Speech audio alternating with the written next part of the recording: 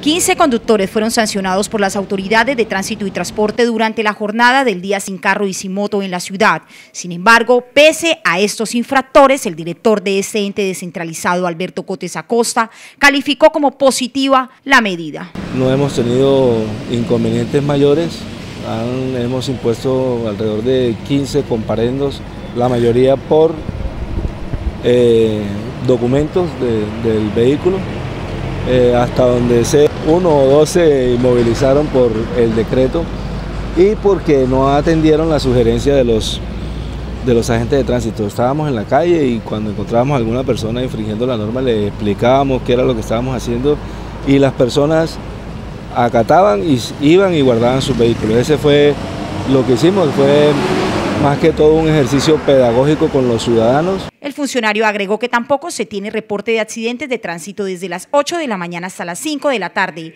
que terminó el día sin carro y sin moto. Presentaron accidentes en la ciudad, eso demuestra que de alguna manera el normal flujo del que de todos los días produce muchos accidentes, accidentes, sobre todo por una cuestión también de la que yo vine hablando en los días anteriores, que es la angustia que sienten muchos ciudadanos por el comportamiento agresivo de algunos conductores. Tampoco descartó que se pueda volver a repetir la jornada en la ciudad. Sin embargo, aclaró que también se debe evaluar el tema con los comerciantes quienes aseguran sus ventas disminuyeron. Habrá que hacer las evaluaciones de, cómo lo hacemos, hay algunas sugerencias, eh, de todas maneras hay algunas consecuencias que tenemos que evaluar, el sector comercial tiene que también decirnos cómo les fue.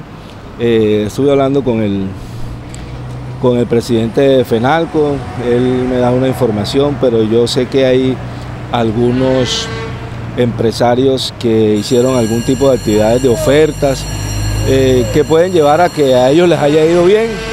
En este día sin carro tampoco se presentaron quejas o reclamos sobre la no prestación a tiempo del servicio público de bucetas. Las empresas también cumplieron con sus rutas.